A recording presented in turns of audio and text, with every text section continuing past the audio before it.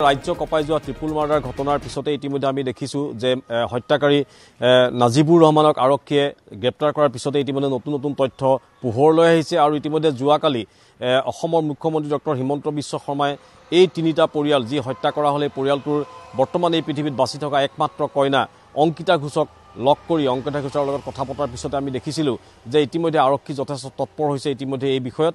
আৰু আৰক্ষীয়ে ইতিমধ্যে নাজিবুৰ ৰহমানৰ মাতৃ চালেহা বেগম আৰু সমান্তৰালভাৱে তেওঁ জ্যেষ্ঠ ভাতৃ হিজবুৰ ৰহমানক ইতিমধ্যে গ্ৰেপ্তাৰ কৰিছে। কালি ইতিমধ্যে আৰক্ষীয়ে সেই কথা স্পষ্ট কৰিছিলে। আৰক্ষী অধীক্ষকগৰাকীয়ে যে তেওঁলোকক ইতিমধ্যে সোধ সোধা পোছাৰ বাবে আটক কৰা হৈছে দুয়োকে আৰু ইতিমধ্যে অনুসন্ধান অব্যাহত আছে তদন্ত অব্যাহত আছে এই ঘটনাৰ লগত।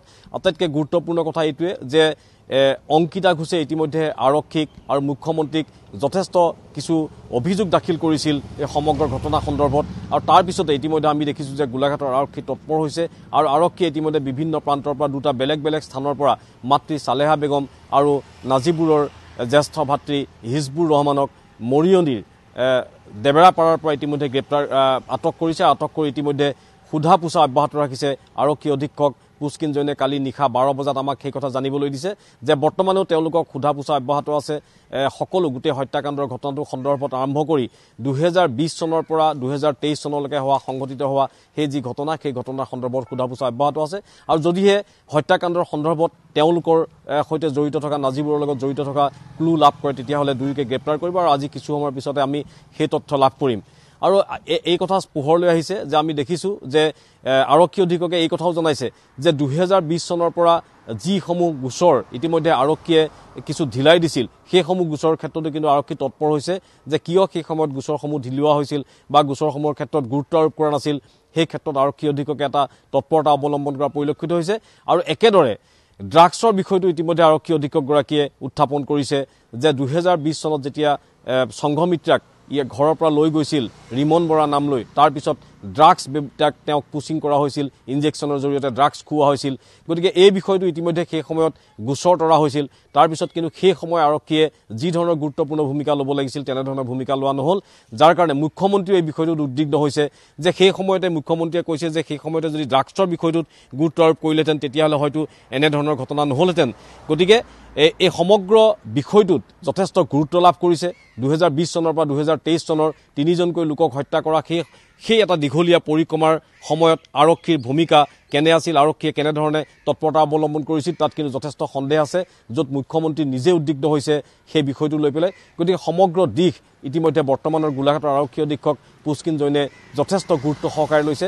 আৰু এটাৰ পিছত এটা নতুন নতুন তথ্য ইতিমধ্যে তেওঁলোকে লাভ কৰিছে আৰু যাৰ জৰিয়তে ইতিমধ্যে আৰু নাজিবুৰ ৰহমানৰ মাতৃ আৰু ভাতৃক ইতিমধ্যে সোধা পোছাৰ বাবে আটক কৰিছে। গতিকে পৰৱৰ্তী সময়ত হয়তো এই ঘটনাৰ লগত জড়িত আৰু কিছু তথ্য পোহৰলৈ আহিব পাৰে। মই বৰ্তমান সেই ঘৰটোত উপস্থিত আছোঁ। মই কেমেৰাচন প্ৰশান্তক মই দেখুৱাবলৈ কৈছোঁ। যে যিটো ঘৰত ইতিমধ্যে তিনিজনকৈ লোকক হত্যা কৰা হৈছিল সঞ্জীৱ ঘোষ তেওঁৰ পত্নী জুনু ঘোষ আৰু তেওঁৰ কন্যা সংঘমিত্ৰা ঘোষক এইটো ঘৰতেই নৃশংসভাৱে নাজিবুৰ ৰহমানে হত্যা কৰিছিল। এখন চোকা দাৰে তেওঁলোকক অতি নৃশংসভাৱে কাটি হত্যা কৰিছিল আৰু তাৰপিছত সেই দাখন এই ঘৰটোৰ ভিতৰত থকা যিটো আলমাৰি আছিল সেই আলমাৰিটোৰ তলত লুকুৱাই থৈ গৈছিল।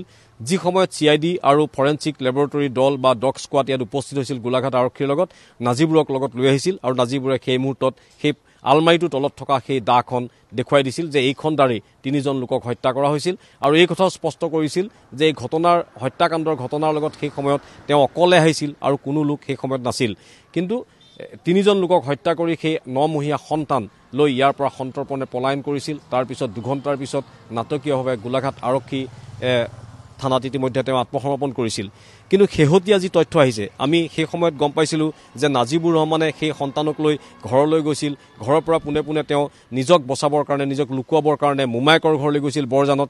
কিন্তু শেহতীয়াভাৱে আমি যি খবৰ পাইছোঁ সেই খবৰ অনুসৰি মোমায়েকৰ ঘৰৰ পৰিয়ালৰ লগত তেওঁলোকৰ দীঘলীয়া সময় ধৰি সম্পৰ্ক বহু বেয়া আছিল। যাৰ কাৰণে মোমায়েকে তেওঁক ঘৰত ৰাখিবলৈ ইচ্ছা নকৰিলে। আৰু শেহতীয়াভাৱে এই হত্যাকাণ্ড ঘটনাৰ পিছত তেওঁৰ মাতৃ চালেহা বেগম আৰু হিজবুৰ ৰহমান দুয়ো ইতিমধ্যে পলাতক অৱস্থাত আছিল কিন্তু তেওঁলোক কোনো মোমায়েকৰ ঘৰলৈ যাব পৰা নাছিল। অন্য স্থানত তেওঁলোকে আত্মগোপন কৰিবলগীয়া হৈছিল। গতিকে তেওঁলোকৰ যি কৰ্মকাণ্ড দীঘলীয়া সময় ধৰি ড্ৰাগছৰ পৰা আৰম্ভ কৰি যি অপৰাধৰ লগত তেওঁলোক এটা সময় ধৰি জড়িত হৈ আছিল তাৰ কাৰণে হয়তো তেওঁলোকৰ যি আত্মীয় আছিল সম্পৰ্কীয় লোক আছিল সেইসকলৰ লগতো তেওঁলোকৰ সম্পৰ্ক কিন্তু কোনো কাৰণতে ভাল নাছিল। যাৰ কাৰণে হয়তো এনে ঘটনাৰ সময়ত তেওঁলোকে তেওঁ সেই সেই অপৰাধীসমূহক আশ্ৰয় প্ৰদান কৰা নাছিল ঘৰৰ পৰা উলিয়াই দিছিল। গতিকে সেই কথাটোৱে প্ৰমাণ কৰে যে তেওঁলোকে এটা দীঘলীয়া সময় ধৰি এই অপৰাধৰ লগত জড়িত আছিল যাৰ কাৰণে তেওঁলোকৰ আত্মীয়সকলৰ লগত তেওঁলোকৰ সম্পৰ্ক ভাল নাছিল।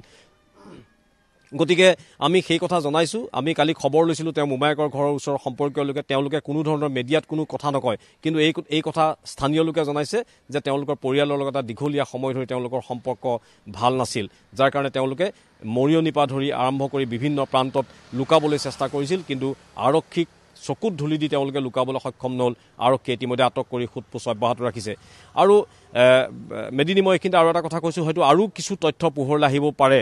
এইকাৰণেই মই কৈছোঁ যে অংকিতা ঘোষে মুখ্যমন্ত্ৰীক কালি বহু গুৰুত্বপূৰ্ণ কথা মুখ্যমন্ত্ৰীক জনাইছিল।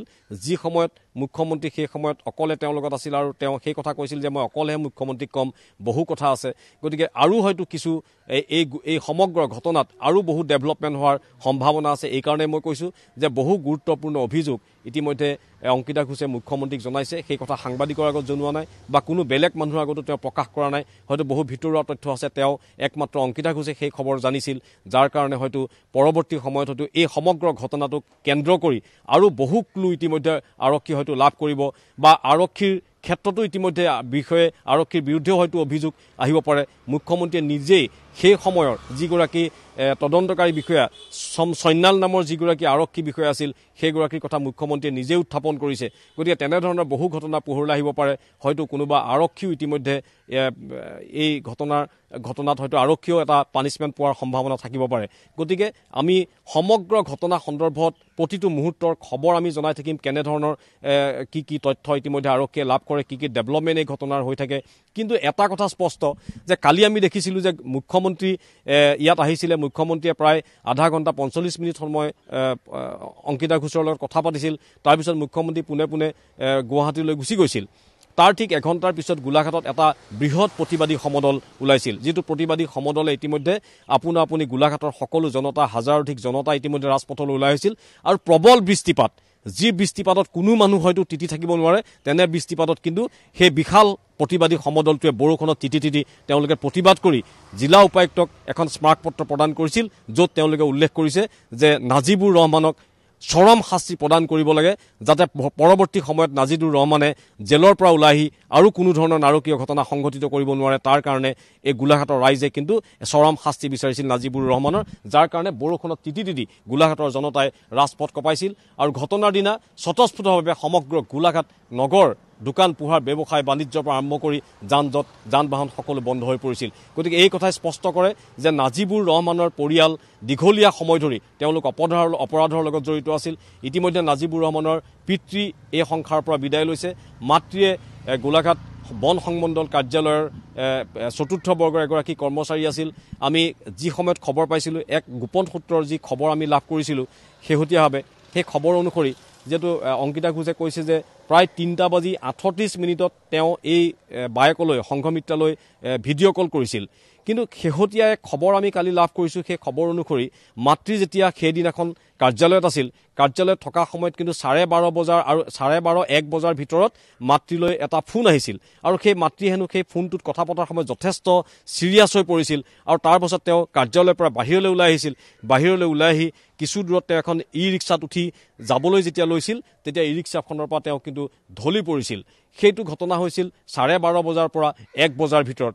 আৰু ঘটনা সংঘটিত হোৱাৰ কথা ইতিমধ্যে অংকিতা ঘোষে জনাইছে যে তিনি বাজি আঠত্ৰিছ মিনিটৰ পিছত হয়তো সেই ঘটনা সংঘটিত হৈছে। গতিকে গোটেই বিষয়টো চাৰে বাৰ বজাত মাক কিয় ঢলি পৰিছিল ক'ৰ পৰা ফোন আহিছিল এই কথা হয়তো আৰক্ষীয়ে তদন্তত পোহৰলৈ আহিব। কিন্তু আমি কৈছোঁ যে অত্যন্ত দুখৰ খবৰ যে কণমানি নমহীয়া সন্তান এতিয়া সম্পূৰ্ণৰূপে যদিও নিথৰুৱা কিন্তু সম্পূৰ্ণৰূপে সুস্থ হৈ আছে। গোলাঘাট শিশু কল্যাণ সমিতিয়ে ইতিমধ্যে সেই সন্তানটিৰ সম্পূৰ্ণ চোৱা চিতাৰ দায়িত্ব লৈ সকলোখিনি ব্যৱস্থা কৰিছে।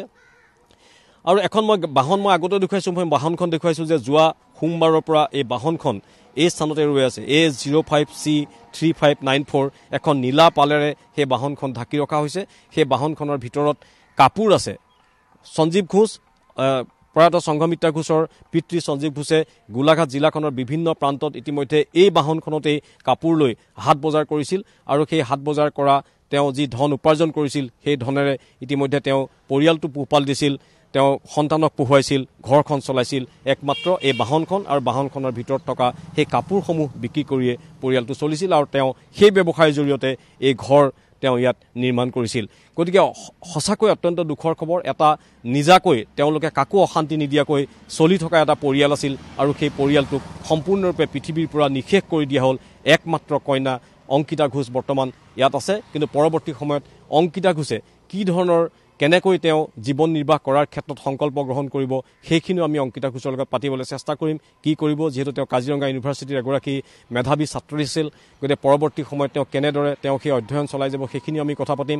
আৰু সমান্তৰালভাৱে সেই কণমানি শিশু নমহীয়া সন্তানটিৰ ক্ষেত্ৰত প্ৰশাসন বা চৰকাৰে বেলেগ কি ধৰণৰ ব্যৱস্থা গ্ৰহণ কৰিব সেইখিনিও আমি কথা পাতিম। মেদিনী। হয় সমীৰণ দিগন্ত আপোনাক এই মুহূৰ্তত ধন্যবাদ জনাইছোঁ।